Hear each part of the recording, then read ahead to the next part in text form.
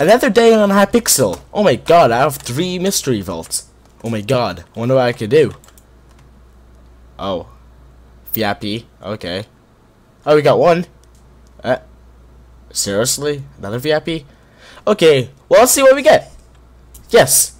Oh, okay, yes. Open it. Open it. Open it. Yes. Come on. What do we get? Epic Santa suit chest plate. Um, 32 pet items. What what can you do with the pet items?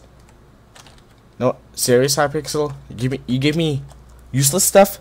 Seriously? You try respond with that? Die.